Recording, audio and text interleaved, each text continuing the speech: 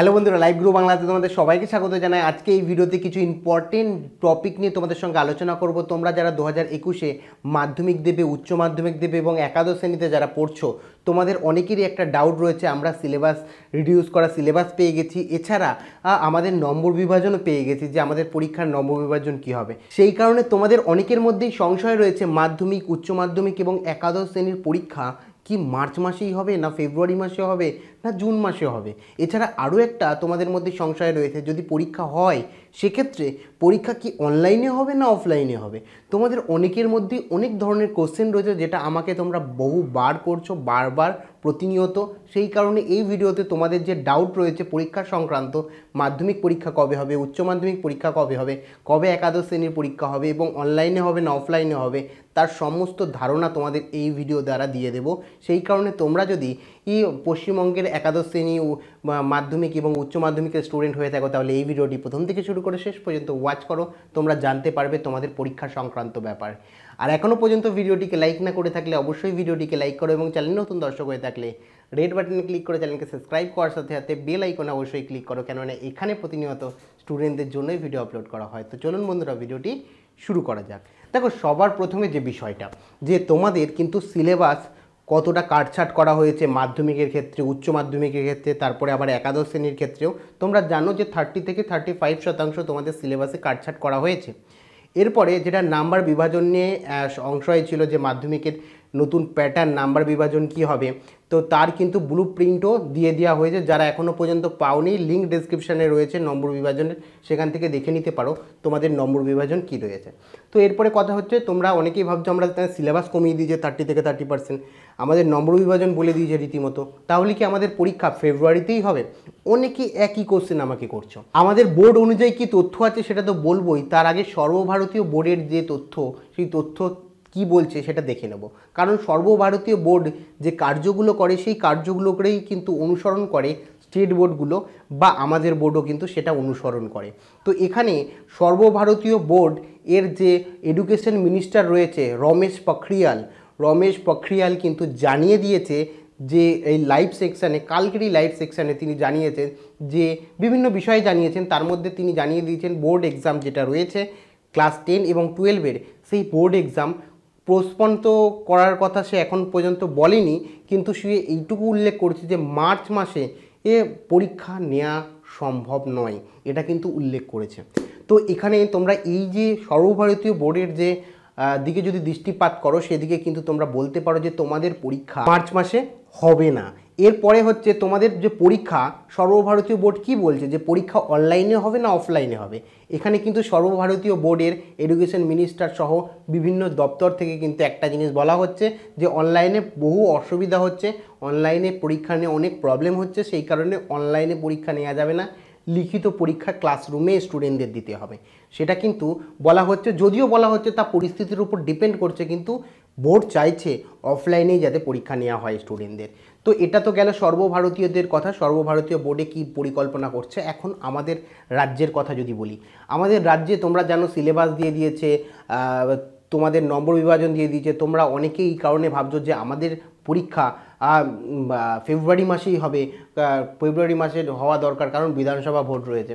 কিন্তু আমি তোমাদের খুব ভালো করে জানিয়ে রাখি বোর্ড থেকে, এ অফিসিয়ালি বা পর্ষদ থেকে অফিসিয়ালি বা মধ্যশিক্ষা পর্ষদ থেকে অফিসিয়ালি কিন্তু এখনও কোনো বিজ্ঞপ্তি ঘোষণা করা হয়নি পরীক্ষা সংক্রান্ত। শুধু এটুকু ঘোষণা করা হয়েছে, যখনই তোমাদের অফিসিয়াল ভাবে ডেট ঘোষণা করা হবে, তখন সবার প্রথমে অফিসিয়াল ওয়েবসাইটে আসবে, তারপরে বিভিন্ন জায়গায় প্রেরণ হবে তথ্য। সেই কারণে যেখানে তোমরা রুটিন পাচ্ছ বিভিন্ন ধরনের বা বিভিন্ন জায়গার থেকে তোমরা শুনতে পাচ্ছ দাদা দিদির থেকে শুনতে পাচ্ছ যে বেশিরভাগ যেটা ভাইরাল হচ্ছে যে অনলাইনে হবে। আমিও বিভিন্ন জায়গার থেকে এই তথ্য পাচ্ছি স্টুডেন্টদের থেকে। স্টুডেন্টরা বলছে, না, আমার দাদা বলেছে, আমার দিদি বলেছে, তারা কলেজে পড়ে যে অনলাইনে পরীক্ষা হবে। কেন? তাদের পরীক্ষা অনলাইনে হয়েছে। সেই কারণে তাদের ভাবনা যে অনলাইনেই হয়তো পরীক্ষা হবে। কিন্তু অ্যাকচুয়ালি সেটা বাস্তব না। বোর্ড এক্সাম অনলাইনে হবে না। কারণ তোমাদের একটু বলছি, তোমরা পুরো ভিডিওটা ওয়াচ করলে তোমরা বুঝতে পারবে কারণটা কি। প্রথম কথা হচ্ছে তোমাদের পরীক্ষা মার্চে, ফেব্রুয়ারিতে না জুনে হবে।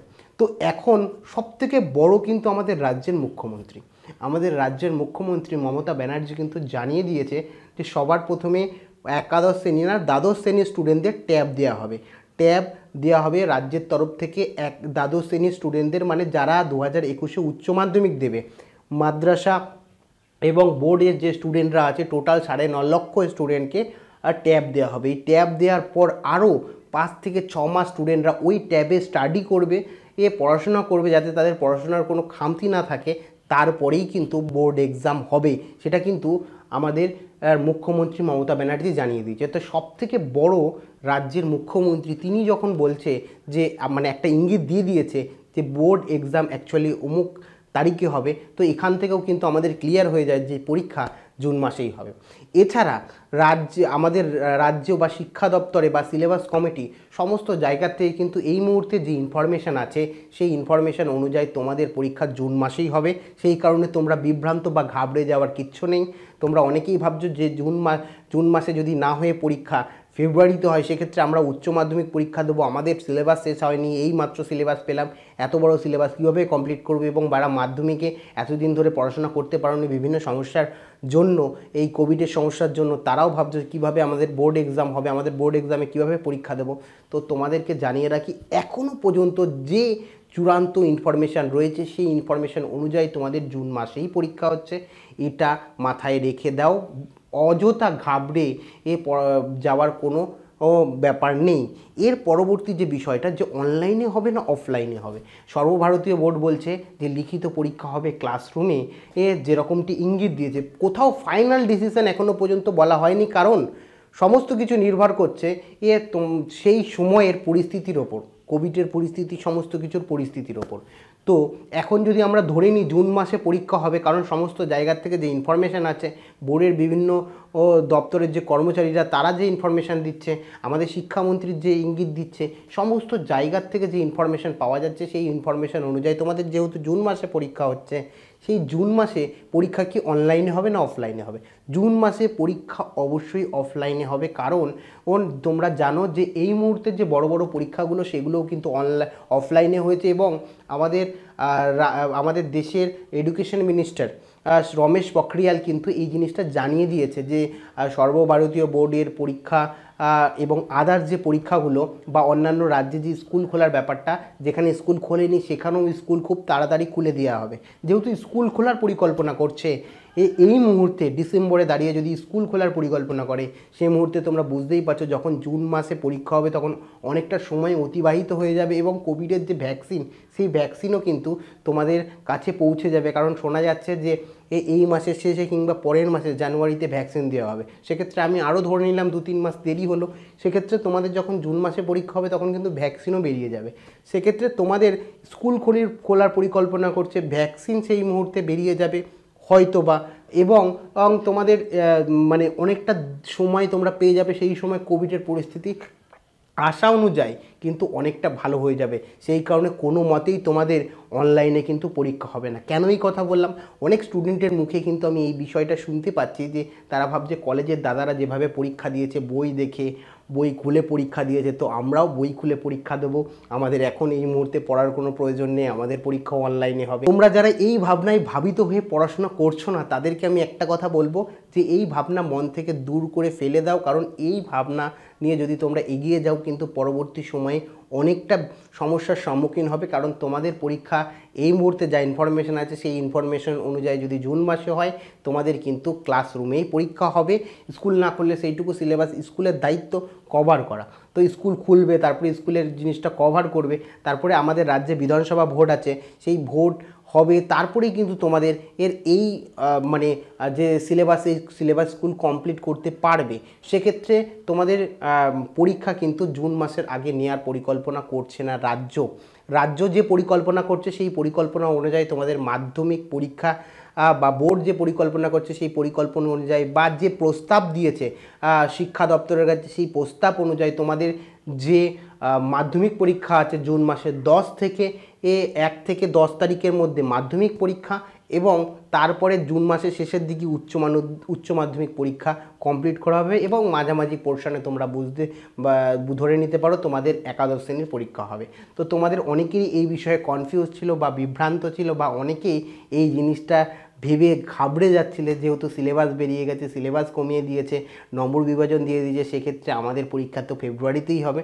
তো এটা না ভেবে তোমরা সিলেবাস হাতে পেয়ে গেছো, আমি তোমাদের বলব খুব কম সময়ে পরীক্ষা হবে, এরকম ভেবেই কিন্তু পড়াশোনার প্রিপারেশান নাও, যাতে যখনই পরীক্ষা হোক, তোমাদের যাতে প্রিপারেশান থাকুক। কারণ তোমাদের যে সিলেবাস এটা তোমরা পেয়ে গেছো, বাড়িতে রীতিমতো চুটিয়ে পড়াশোনা শুরু করে দাও। কীভাবে পড়াশোনা করবে কি উপায়ে পড়াশোনা করলে ডেলি রুটিন কি হলে তোমাদের অ্যাকচুয়ালি ভালো হবে তা নিয়ে কিন্তু রীতিমতো ভিডিও আমি করে দিয়েছি মাধ্যমিকের জন্য, উচ্চ মাধ্যমিকের জন্য। তোমরা যারা ভিডিওটি দেখোনি তারা অবশ্যই ভিডিওটি দেখে নেবে, আই বাটনে এবং ডেসক্রিপশনে লিঙ্ক দিয়ে দেবো। তো এ বিষয়ে তোমাদের কি মন্তব্য রয়েছে অবশ্যই তোমরা কমেন্ট সেকশনে প্রদান করো। তো আজকের মতো এইটুকুই, আবার দেখা হচ্ছে অন্য কোনো ভিডিওতে টেক কেয়ার বাই বাই